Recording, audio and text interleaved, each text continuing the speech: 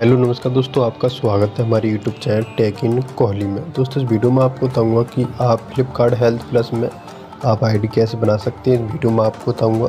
Simply guys आपको क्या करना है? आपको अपना जो अकाउंट का ऑप्शन है, आपको उस पर क्लिक करना है। उसके बाद यहाँ पर अपना मोबाइल नंबर है एंटर कर देना है। उसके बाद log in with verification code पर क्लिक करना है आपको। उसके बाद गए आपको आपको एक ओटीपी आएगा फाइव डिजिट का। आपको वेरीफाई कर देना है। कुछ देर वेट करना है।